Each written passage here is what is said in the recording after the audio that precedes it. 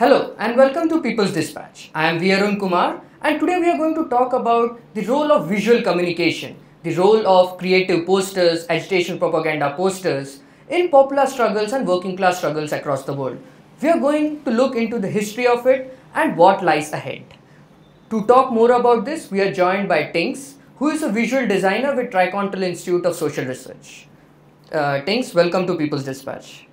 Thank you for having me. So, Tings to start with, um, Tricontinental Social Research, Tricon, uh, recently came up with a dossier uh, looking into the uh, visual communication and popular struggles, especially talking about the OSPAAL posters, which which contributed uh, a lot to the global struggles, uh, the anti-imperialist, anti-colonial struggles across the world.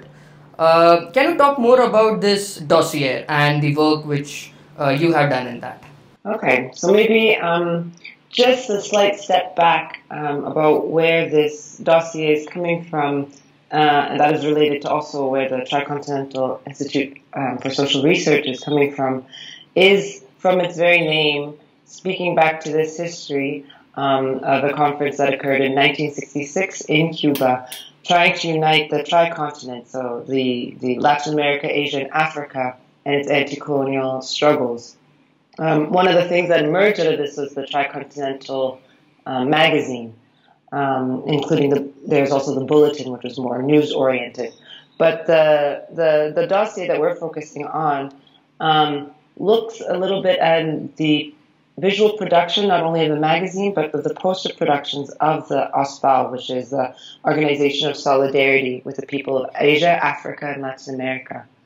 Um, and for anyone who's ever had the opportunity to, you know, hold a copy of this Tricontinental magazine that was, um, you know, analysis, uh, some theoretical texts, some um, um some exchanges between the anti uh, anti um, colonial struggles across the global south.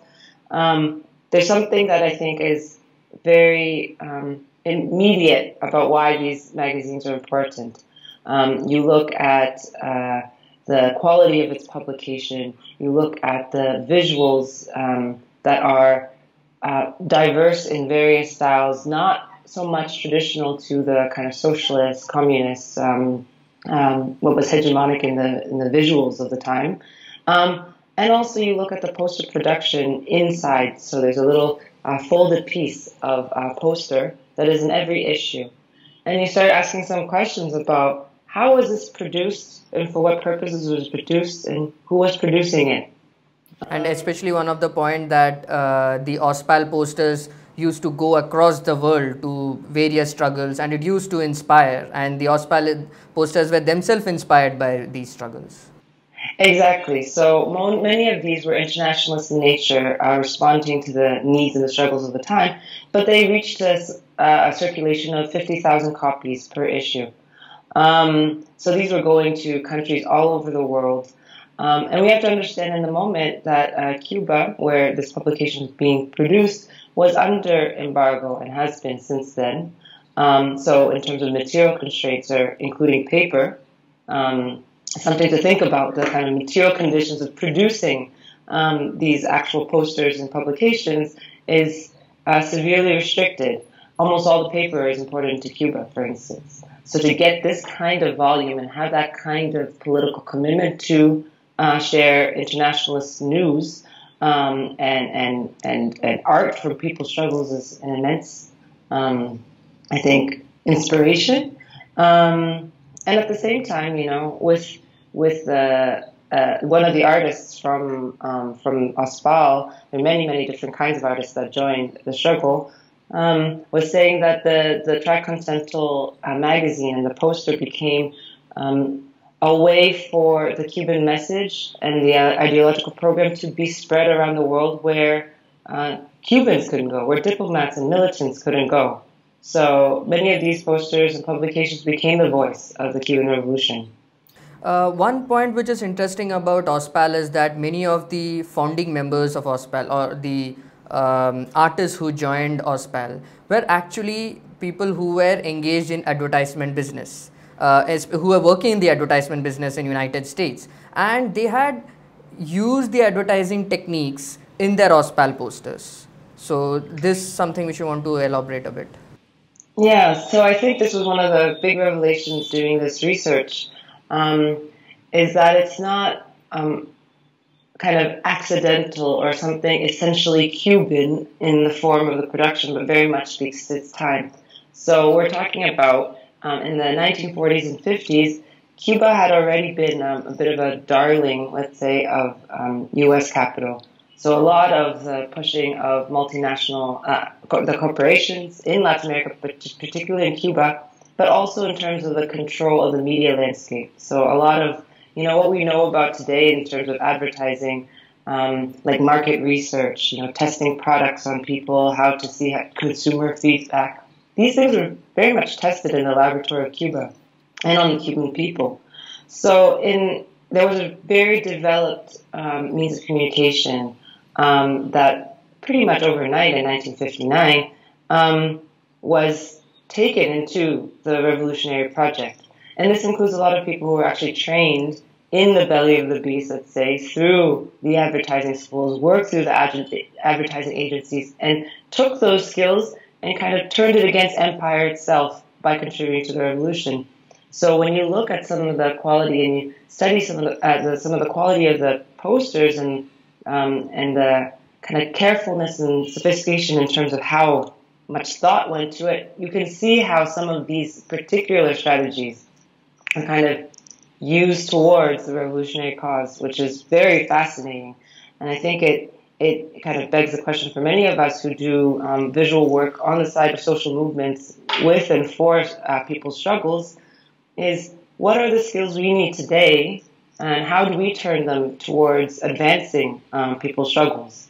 Uh, because we also live in a, in a in an age where there's a lot of particular expertise around visual knowledge, around technology, around how things are produced that we need to harness and turn them against empire itself. There's the saying goes which is that communication is not just about information, it's not just about informing people, it's also about inspiring people. So we see that uh, during that era of um, what you call as uh, the Cold War era, or this where there were the numbers, there were numbers of anti-imperialist and anti-colonial struggle. We see various kind of visual communication by popular struggles, whether it's the it's the agitational propaganda posters from Soviet Union or OSPAAL uh, we see that there is a kind of inspiration which these posters bring in. Uh, but at the same time, uh, which you, you also talk in your dossier, is that both Soviet Union posters and uh, the OSPAAL posters had some differences uh, in terms of its visual style. Uh, can you talk more on that? Um, yeah, so I think it's um, exactly what you said. What was the kind of dominant and hegemonic socialist imagery of the time was what was called socialist realism um, that you see in, in some of the Chinese and Soviet examples that were usually painted in much more realistic style. Um, uh, uh, many things around, you know, the, the proletariat, factory workers, the peasantry, and really ennobling, let's say, um, uh, who are the protagonists uh, of revolutionary classes. Um, the, you look at the Cuban experience, you don't see that. You don't see the, the traditional factory workers. Uh, you don't see the, the kind of uh, blood, sweat, and tears of, of the, the, the peasants in the imagery themselves. Um, I don't think it's a necessary, I mean, we'll say Che Guevara, for instance, had a strong condemnation, and so did Fidel, um, around what they would call a realism at all costs, because they thought that that would be constraining uh, the possibility and the imagination of a revolution that was um, um, taking place. And, and, Che Guevara had a really beautiful quote saying that um, the socialist realism, and I, I have it here, would be putting a straitjacket on the artistic expression of the people who are being born and in the process of making themselves. So there was an openness in the Cuban experience um, to have artists explore styles um, and uh, and new forms um, that actually both artists didn't have um, the privilege of doing in the commercial art world and working under the, the, the, multinational advertising agencies, nor in a socialist tradition. So uh, new forms are really being elaborated. So when you look at the styles, there's what was current at the time in terms of more commercial art. You have, um, you know, like uh, psychedelic art. Uh, but then next to that, you will also have some sort of pre-colonial iconography, you know, or looking at um, some of the African iconography and and trying to bring new forms because this revolution was not only in its stages of becoming, um, but it needed to also take from the many, many, many traditions and histories we come from to create new forms. So I think there is something that is you can feel looking at the poster um, because of a, a, even a newness 60 years down the line, um, especially for those who, who make um, make posters, make art, and you think, wow, imagine having that kind of uh, kind of openness to explore forms, make mistakes, um, in the face of uh, extreme constraints and extreme repression um, and, and tax by empire from all sides. So this is really fascinating inspiring history to learn from for what we can we can do today. Uh, to talk more on the visual communication, we see that now we are in a digital world uh, where digital platforms are growing, people are more into digital uh, modes of communication.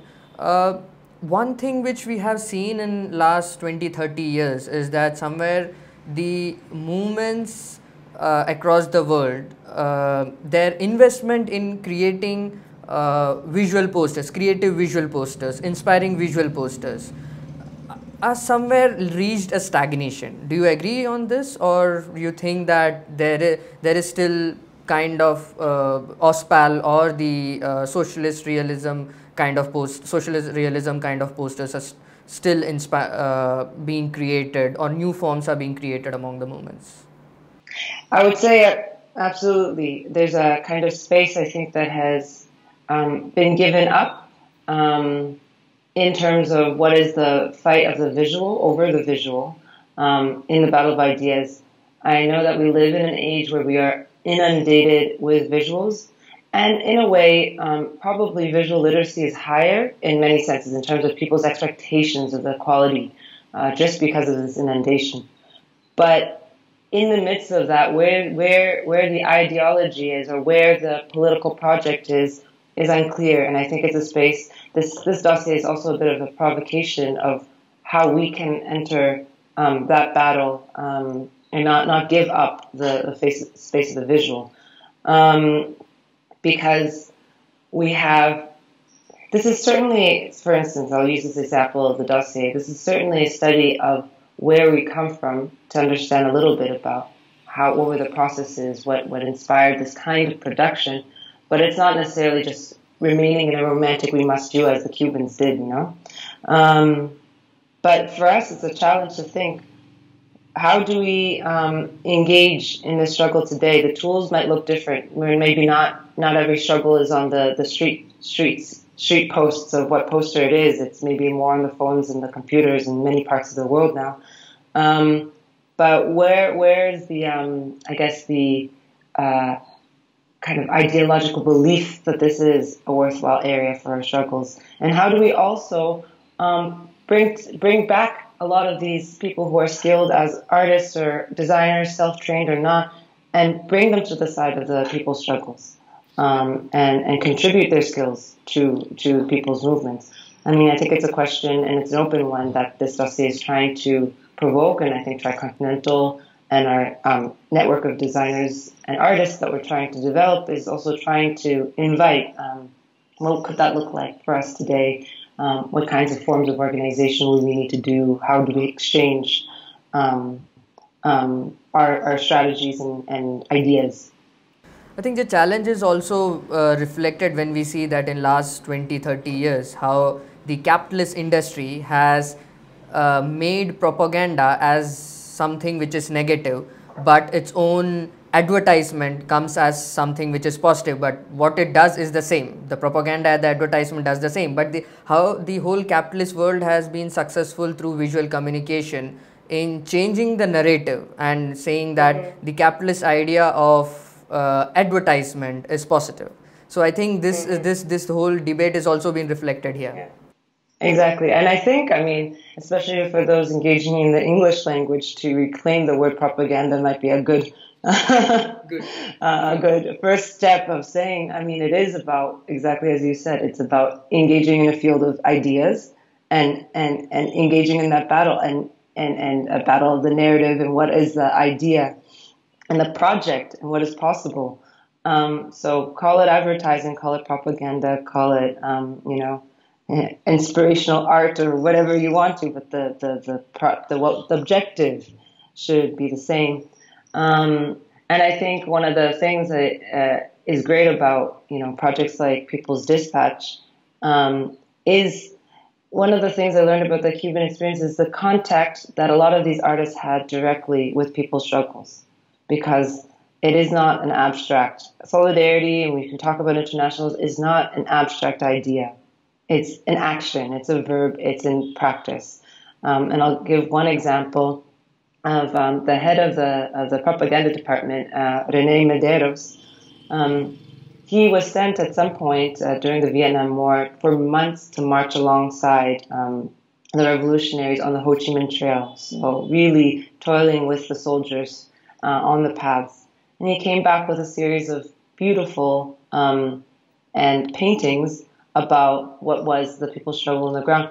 That kind of militancy and commitment and, and discipline, um, we should think of you know artists in that way and how, how that kind of contact with people's struggles. Maybe we don't all have to march for months on the ground in the fields, but that direct contact with people's struggles through um, and through avenues like you know people's dispatch, they're connecting us to the ground is that vitally important because there are projects that are being in the process of becoming, as Che was saying. So, Tings to uh, end this uh, discussion, let's look into the OSPAAL posters again and the Tricontinental dossier. Can you bring out some of the examples which you really think uh, are close to you, as really inspired you uh, while doing this research? I think one of the things that, um, as someone who's been making, you know, posters and, and designs for various kinds of movements for some time now. Um, what was really inspiring was learning about the process um, and the seriousness um, that these artists, in in collaboration with the Communist Party that they were um, taking direction from, in connection with um, different kinds of liberation struggles, like I had mentioned, um, and the kinds of exchanges around ideas and representations that existed is really fascinating. And it's a, a, kind of model and inspiration for us to think about today and how to bring back to our movements and, and regain that kind of seriousness in production of posters. Um, why is this symbol uh, something we are fighting over? Why this color? Why these fonts? Why do these things reach to people? How do these communicate? Our ideology or our message or our program. Um, that kind of exchange and, and is, is fascinating and exciting, especially when we think about the accelerated pace that production exists now. We have a lot more tools. Most people um, can be designers with, uh, with a, you know, a simple cell phone in their hand. Uh, or a piece of paper and pen. You know, there's the tools have really advanced and diversified.